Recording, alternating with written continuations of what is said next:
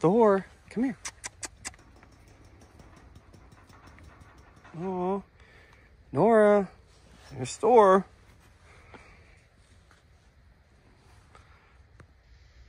It's not used to Maya. What's that cow doing in here?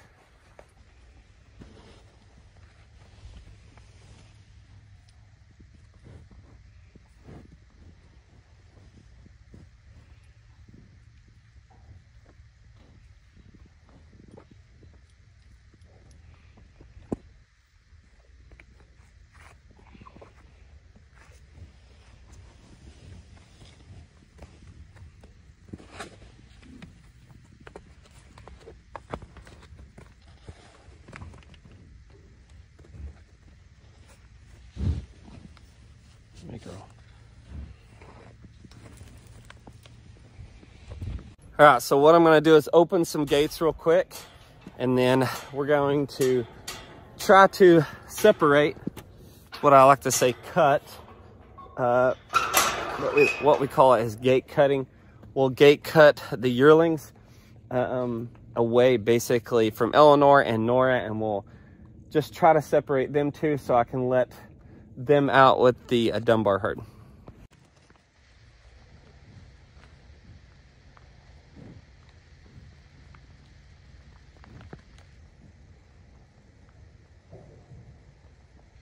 Well, Nora came in just because she's interested.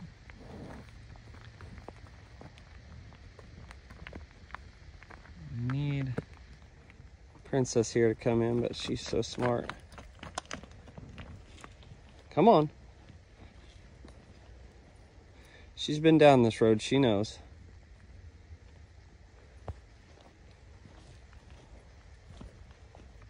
Come on in, Maya, come here. There we go. Ah, I need this. Ah. She knows she's gonna get caught.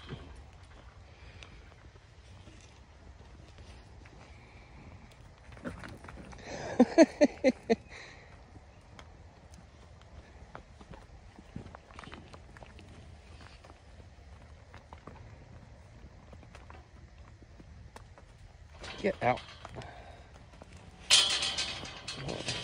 Maya, no. And that's gate cutting. that's about as easy as you can get.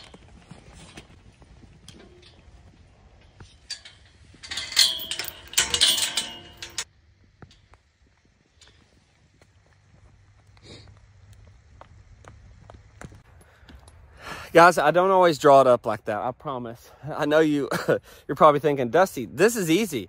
But working bison is easy and it's just a, you know, piece of cake, right?